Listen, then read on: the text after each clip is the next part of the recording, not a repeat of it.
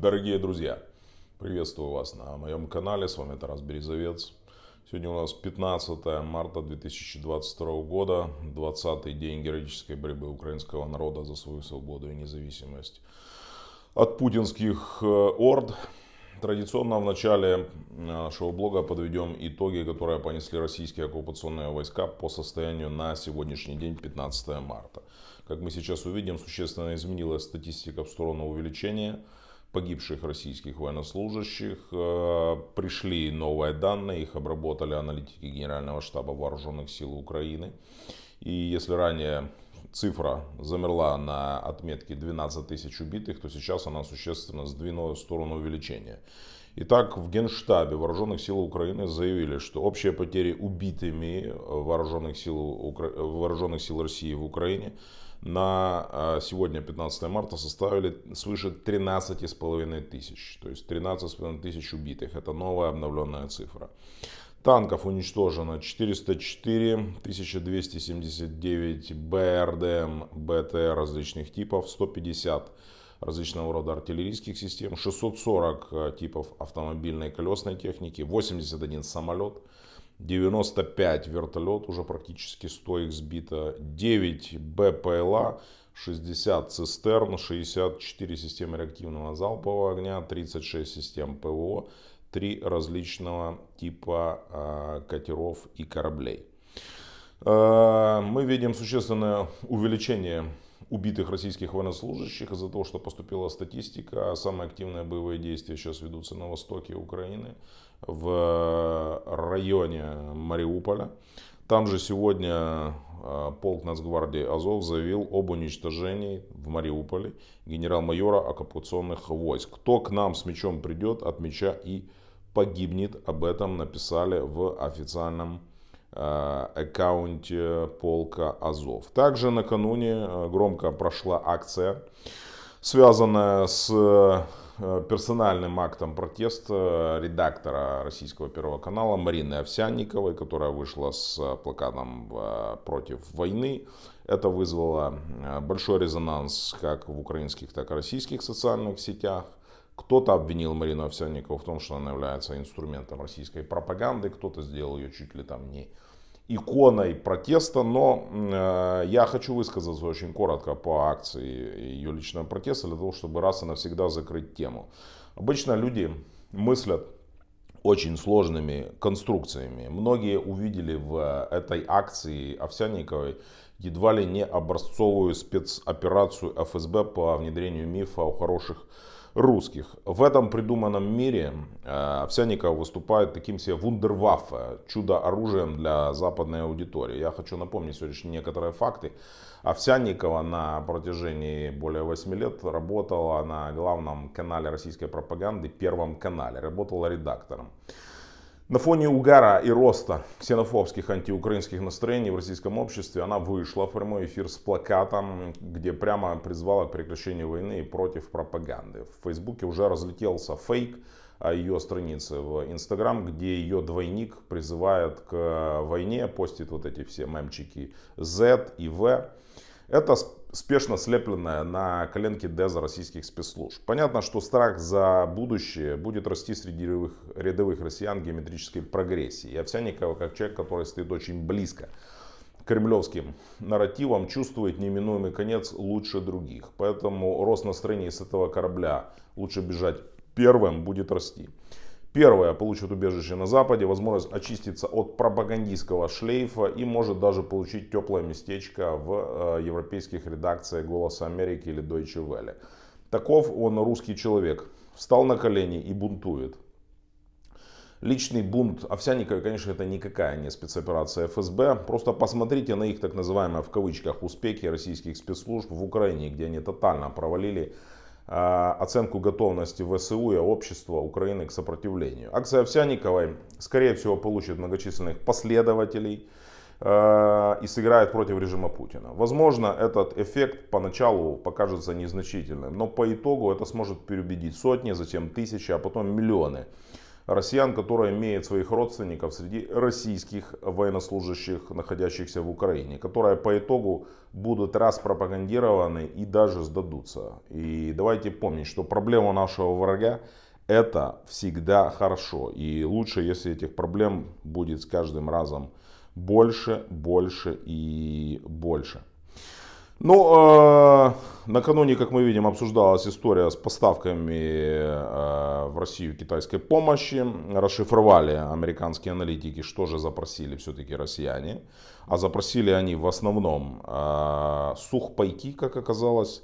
Дроны запросили, разведывательное различного рода оборудование. Как мы видим, российская армия не просто не способна вести войну 21 века, у нее нет элементарного, у нее нет просто чего пожрать, извините.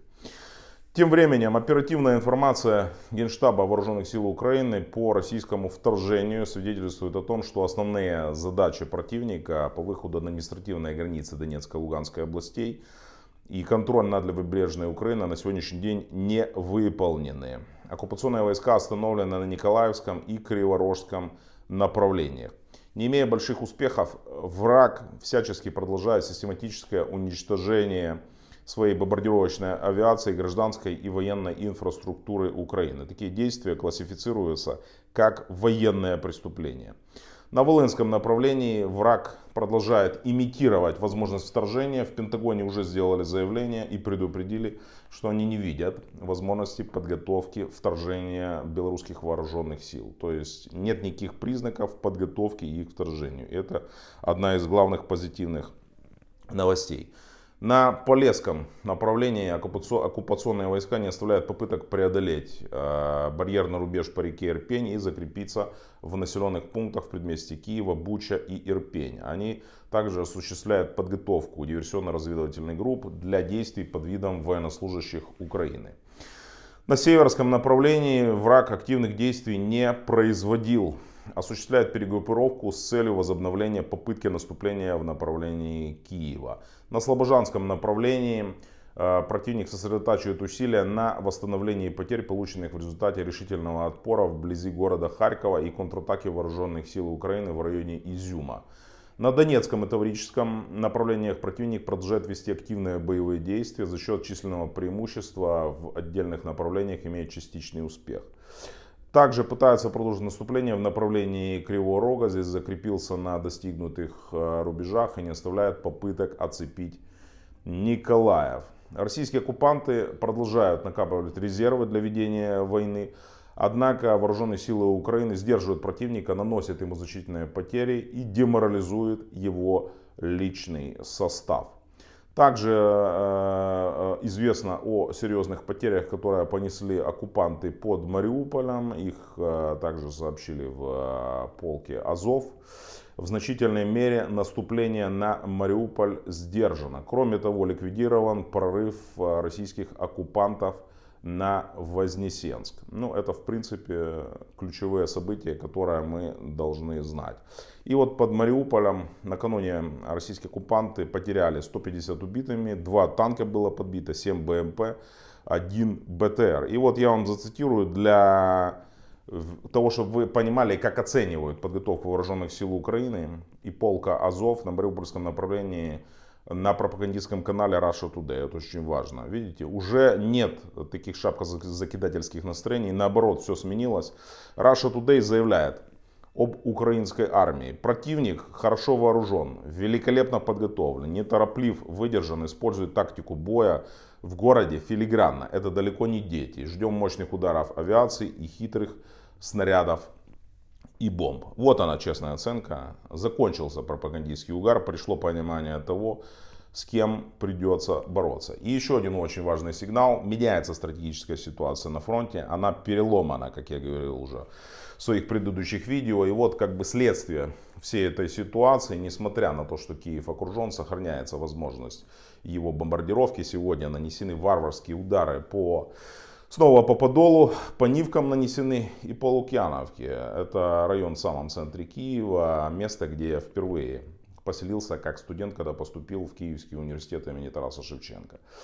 И тем не менее, на фоне всего этого, вот заявление премьеры Польши, Чехии и Словении приедут в Киев, несмотря на боевые действия. Об этом заявил премьер-министр Польши Матеуш Моровецкий. Они собираются уже сегодня, во вторник, посетить Киев вместе с вице-премьером Ярославом Качинским, главами правительств Чехии и Словении. И визит осуществляется по договоренности с Европейским Союзом. О нем уведомленный председатель Совета Европейского Союза Шарль Мишель, председатель Еврокомиссии Урсула фон дер Ляйен, а также ООН. А, переломный момент. Помните, когда в Грузию тоже прилетели президенты шести центральноевропейских стран, в том числе президент Украины тогдашний Виктор Ющенко. И российских оккупантов удалось остановить танки буквально в 40 километров от Тбилиси. Ситуация, по сути, повторяется. Путинский блицкрик захлебнулся. Сил для наступления, как мы видим, у них пока нет, они их накапливают, но даже там, где они имеют решающий перевес, как-то на востоке в районе Мариуполя, у них все складывается плохо и плохо. И от а, победных реляций они уже переходят к реалистичным оценкам.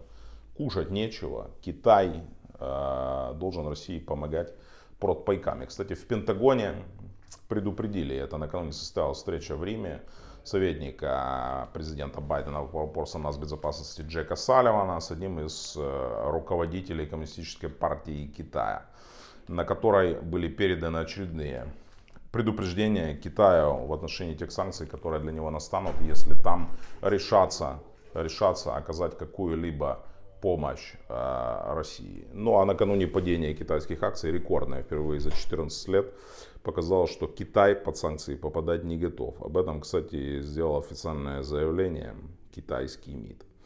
Вот такие у нас новости, друзья. На сегодняшний день вторник ситуация начинает меняться и уже явно склоняться пользу Украины. Поддерживайте вооруженные силы Украины, если у вас есть такая возможность. Поддерживайте их материально, а, пересылайте деньги на вооруженные силы Украины. Вам спасибо за просмотр этого видео. Шерьте, лайкайте, комментируйте, пожалуйста, для того, чтобы как можно больше людей смогло увидеть это а, видео, оценить его. Поддерживайте нас на Патреоне, обязательно подписывайтесь на наш канал. Спасибо, друзья. С вами был Тарас Березовец. Все буде Україна. Поменше зрад, побільше перемог. Слава Україні, слава ЗСУ і до нових зустрічей. Пока-пока.